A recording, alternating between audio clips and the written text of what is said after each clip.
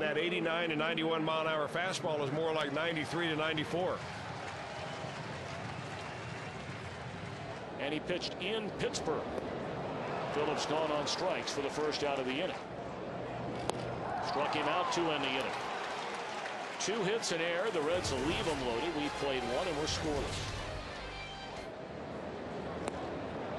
Good morning, good afternoon, good night, however, in that at bat. This is as big a lead as he does. Gone on strikes. Since Mark Mulder back in June of 2006. And that was in the first week of the year.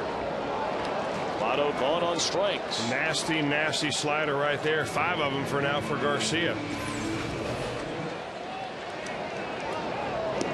And he has struck out Rolen for a sixth strikeout of the night in a 1 2 3 6.